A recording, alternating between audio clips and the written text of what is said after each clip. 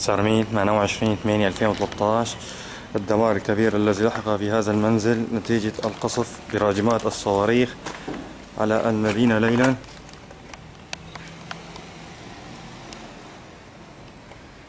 الله